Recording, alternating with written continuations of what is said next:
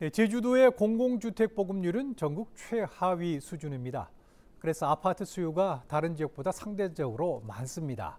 현재 입주 대기자만 3천 명에 육박할 정도인데요. 내년부터 택지 개발을 통한 공공주택 사업이 본격 시작될 예정이어서 숨통이 트일지 주목됩니다. 문수희 기자의 보도입니다.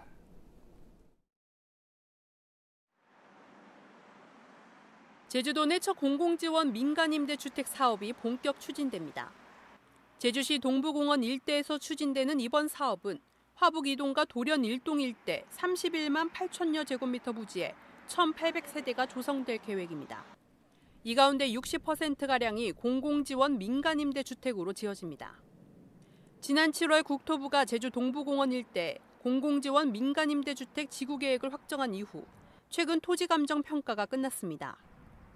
현재 제주도와 LH가 감정평가 결과를 토대로 토지주와 보상 협의에 착수한 가운데 빠르면 내년 2월 착공할 계획입니다.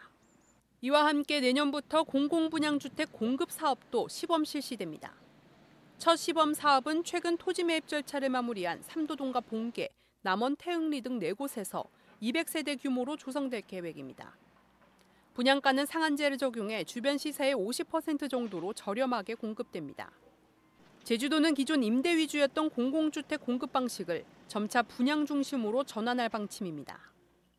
내년 시범 사업을 시작으로 오는 2026년까지 공공 분양주택 2,100호 공급을 계획하고 있습니다. 고분양가가 돼 있어서 우리 공공에서 지면 분양가 상한제 같은 게 적용되니까 이제 분양가를 낮출 수 있는 민간에도 영향을 줄 수 있는 그런 영향이 있습니다.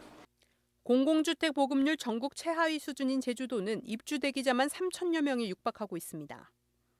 내년부터 민선 8기 공공주택 건설 사업이 본격화될 것으로 보이며 수요에 맞는 공공주택 제공이 가능할지 주목됩니다. KCTV 뉴스 문수입니다.